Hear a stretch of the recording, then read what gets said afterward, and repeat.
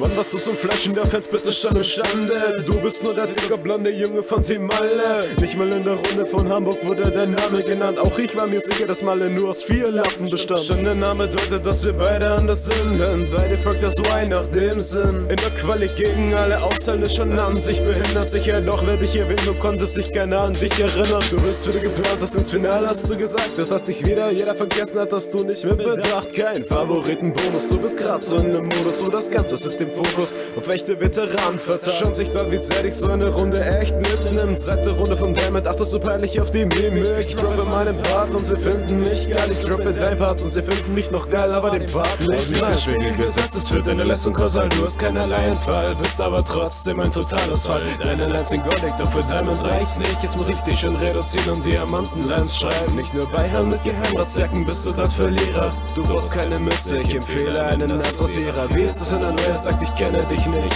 Ich kenne deine Freunde, doch die blenden mich nicht. Sinne, du Lappen. Deine Runden sind nicht tragbar bei deinen dürren Namen.